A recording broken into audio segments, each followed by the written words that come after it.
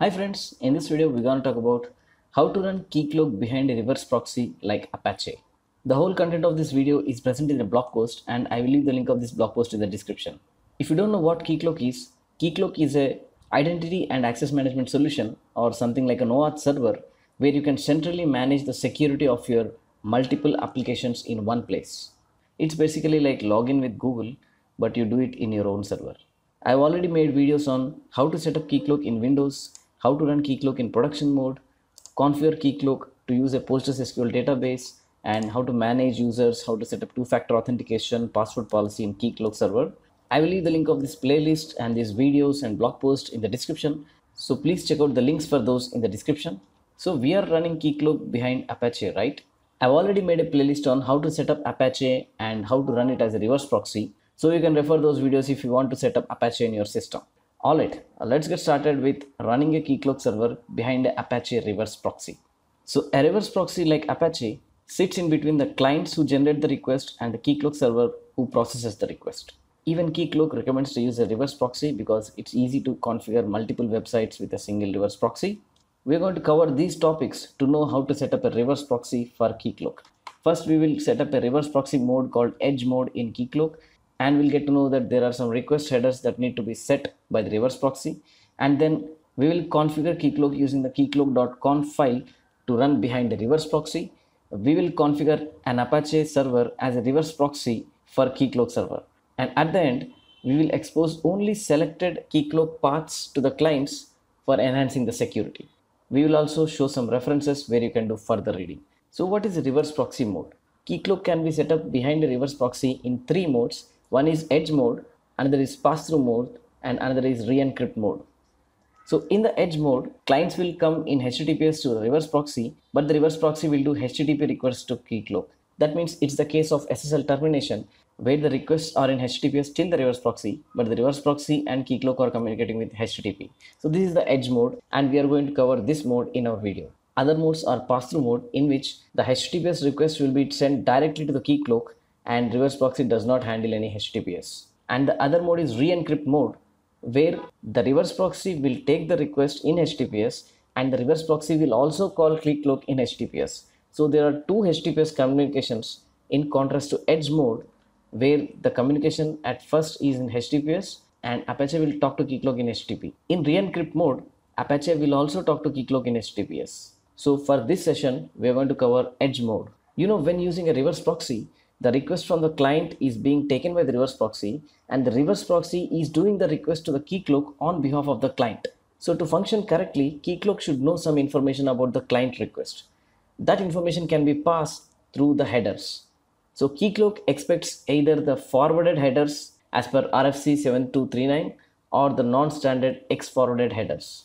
That means X forwarded for, X forwarded proto, X forwarded port, etc we are using an Apache reverse proxy and Apache sets the X forwarded headers if you use it in the reverse proxy mode. So obviously we are configuring keycloak to expect X forwarded headers. So that's about request headers. And then we need to configure keycloak to run behind the reverse proxy, right? So keycloak can be configured using the keycloak.conf file. Let's go to our keycloak installation and try to configure the keycloak. So I've got keycloak installed in my computer and it's installed in C keycloak folder. So I'm in the folder and in the conf folder, I have a keycloak.conf file. So I'm going to right click and open it with VS Code. You can even open it with Notepad. In VS Code, I've installed Apache conf extension. So that's why I'm able to see syntax highlighting and I can easily edit my conf file. Alright, we are going to run our keycloak behind the reverse proxy in production mode. So for that, you need some things to be done. I've already made a video on running keycloak in production mode. You can check out that video. I will leave the link of that video in the description. But to run in production mode, you need to set your host name and certificate. I've already generated self-signed certificates using OpenSSL and kept them in the conf folder with files kc.cert.pem and kc.key.pem.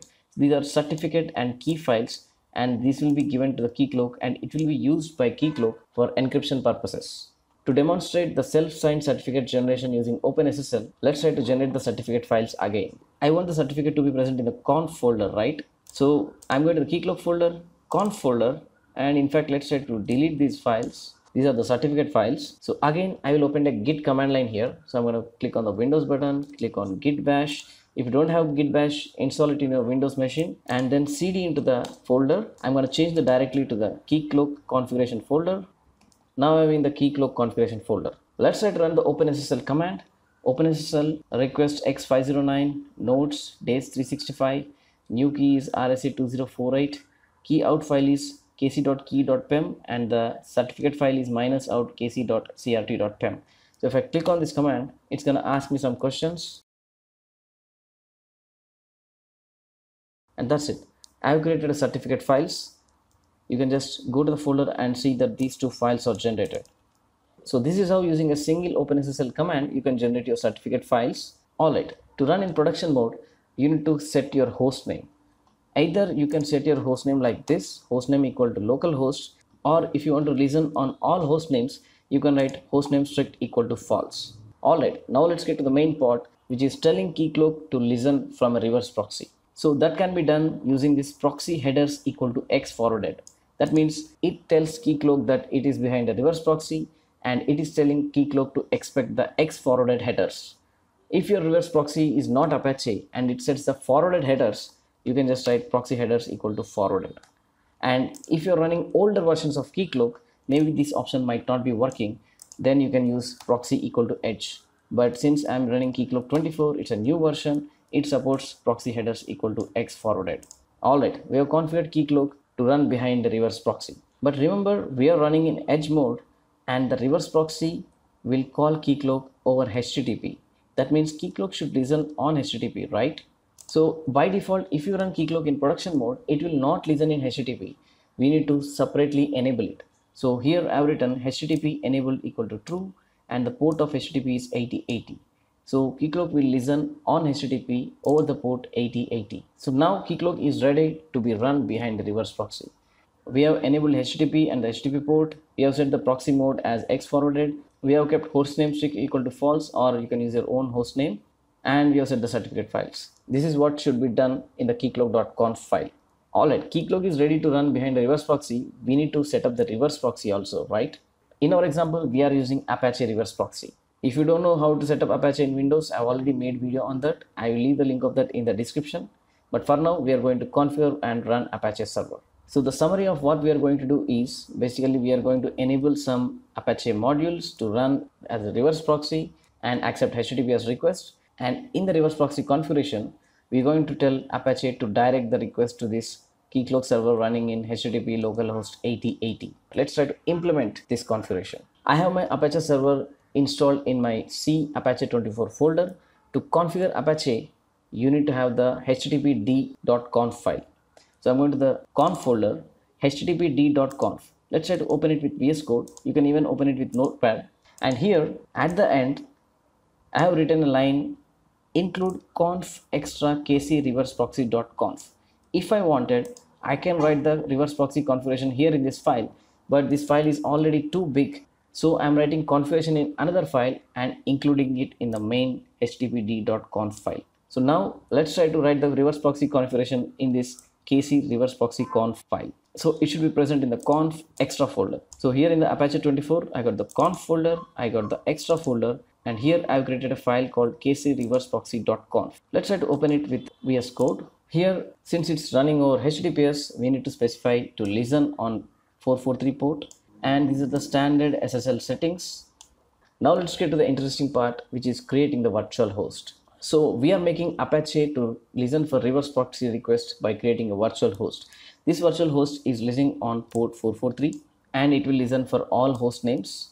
If you want, you can restrict the host names on which the request will be listened to. But for now, I will listen for all possible host names. And this is a standard server admin email setting.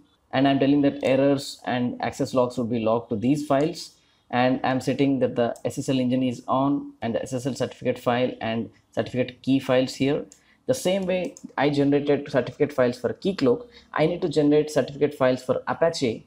I have generated the certificate files and kept in the conf folder. You can see that in the Apache 24 conf folder, I got my server.cert and server.key files.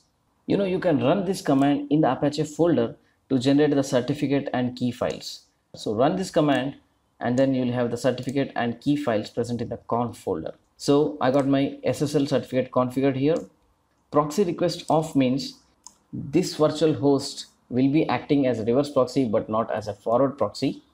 This option proxy preserve host that means the hostname header would be the same as if the client directly contacted the Keycloak server.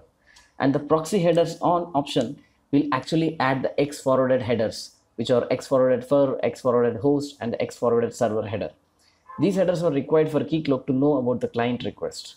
And then SSL proxy engine on, that means SSL will be enabled in the reverse proxy requests. And this is for safety, like it will check whether the hostname is same in the SSL certificate and the SSL certificate is expired or not. So this is the safety measure to check whether SSL is good or not. And we are setting two additional headers, which is X forwarded proto and X forwarded port. These are not set by this proxy add headers, so we are adding it here manually. This is also required for Keycloak to know about the original request from client to Apache server. And then the main setting is just two lines, which is proxy pass and proxy pass reverse. This means send all the requests as a reverse proxy to this URL. That means if I write slash admin, it will be sent to localhost 8080 slash admin. If I say slash realms, the request would be go to localhost 8080 slash realms. And that's all. In just very less lines of code, you can make Apache act as a reverse proxy for the Keycloak server. Alright, we have configured Apache, we have configured Keycloak. Let's try to run Apache and Keycloak and see whether this configuration works. First, let's try to run the Keycloak server so i'm in the c keycloak folder. I'm going to open a command prompt here. And here i'm going to say bin kc.bat space start. If you are running it for the first time you can write kc.bat space build so that a server image will be built for running in production mode. All right we have built the keycloak server. Now let's try to run the keycloak server. So i'm going to write bin kc.bat space start now the Keycloak server is running. You know, Keycloak server would be running on 8443 port and 8080 port. Let's try to check whether Keycloak is running. So I opened HTTP localhost 8080 and Keycloak is running here. Now let's try to start the Apache server. I've already configured my Apache server to be run as a Windows service. So I'm going to open the services app and search for Apache 2.4 and then right click start the service. If you don't know how to run Apache as a Windows background service, I've already made a video on that and you can check out that video link in the description. Alright, our Apache server is running. So if it's running correctly, if you go to HTTPS localhost, you should be able to see the Keycloak application. So if I go to HTTPS localhost, I'm able to see Keycloak. Let me log into the Keycloak and I'm also able to see the Keycloak admin portal through Apache which is running as a reverse proxy. So we have successfully set up Apache and Keycloak and we have run Keycloak behind Apache reverse proxy you know for reducing the attack surface or reducing the vulnerability you can limit only selected parts of the key keycloak that means you don't need to expose the admin console to the clients. Maybe you just want to see keycloak admin panel only in the local host or else you want to see it behind the reverse proxy. You want to block the admin panel from the reverse proxy. That can be done by exposing only selected parts in the reverse proxy instead of exposing all the parts of the keycloak here is the configuration which you can use to limit the paths. We are exposing the JS path, realms path, resources path, robots.txt path. Only the request would be proxied for these paths and if there is a path like slash admin, it will not be exposed because it's not mentioned here.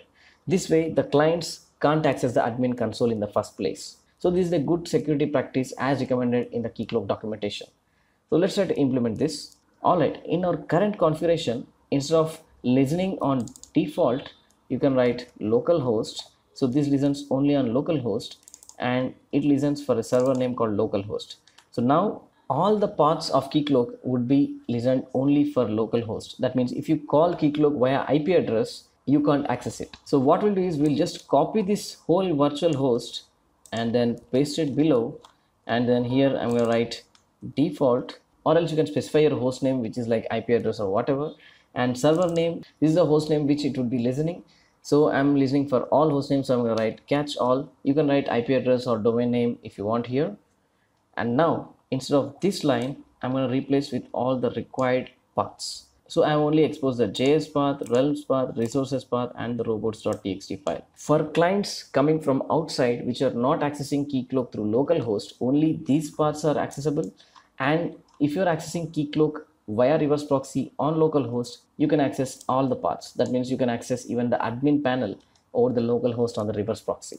you know in your use case you can expose all the paths over the internal ip address and you can expose only limited paths over the domain name or the external ip address or the public ip address so that's it guys. This is how you can easily set up Keycloak behind reverse proxy like Apache. You can see I've created a blog post on how to use Apache as a reverse proxy for Keycloak. I've given you the notes, the explanations, the images, the configurations, the commands so that you can configure and set up the Apache and Keycloak in your own system. These are the references which you can go through for further reading. I've also given the links to these references in the blog post. So please be sure to check out the link of this blog post in the description of this video. Please ask questions or post your valuable feedback in the comment section. Hope you like this video guys. Thank you for watching. Peace.